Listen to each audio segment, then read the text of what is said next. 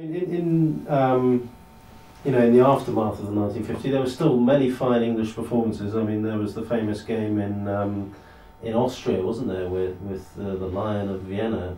Well, I mean, Yes.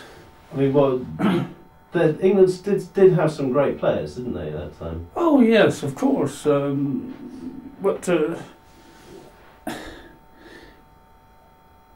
the national team wasn't being supported uh, as it should have been in terms of challenging for world um, control. You know, as a as a great world team, it was all on a still a happy get together and we'll just go in and play the matches. it was only when we began to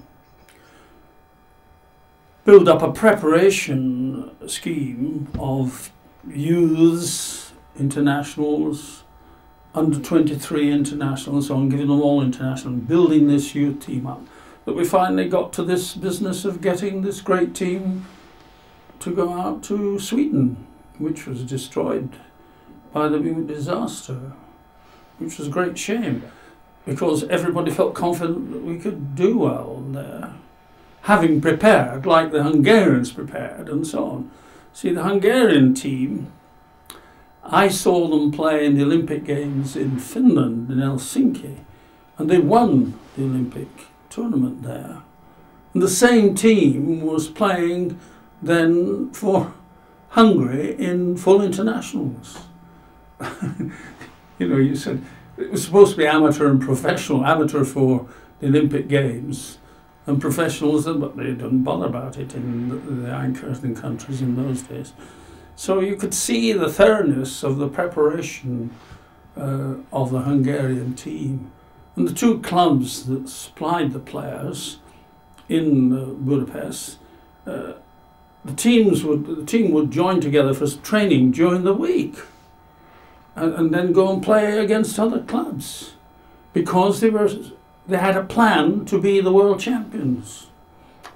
And gradually, of course, they have proven themselves to be a great footballing side. They've never done it since then, and uh, but that's the preparation, which I said went, was the same in Brazil and South America. But we didn't do those things.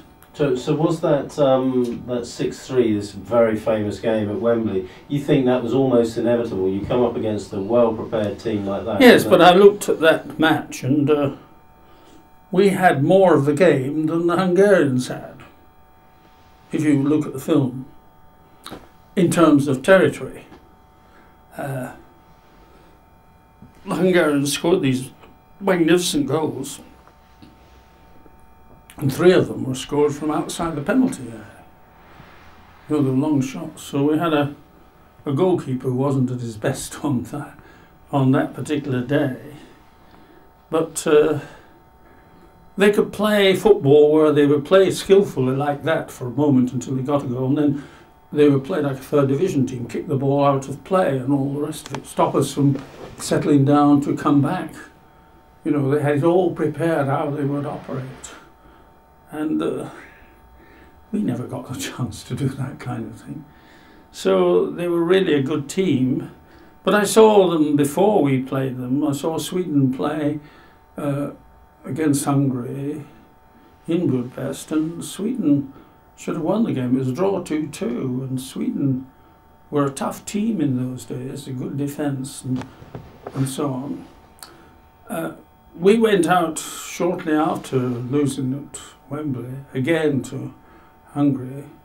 We took out a scratch team, different centre half, different. And how could we go out and knit together against a great Hungarian team who were playing as though they'd played with each other for donkey's years? And we lost heavily that day. Uh, but again, the attitude and the system here was all wrong. We weren't building a team, we were just selecting a team by a selection committee and putting it out in the hope that it would play well on the day. No rehearsal. Couldn't, he didn't have time for rehearsals. No preparation. Playing against other sides.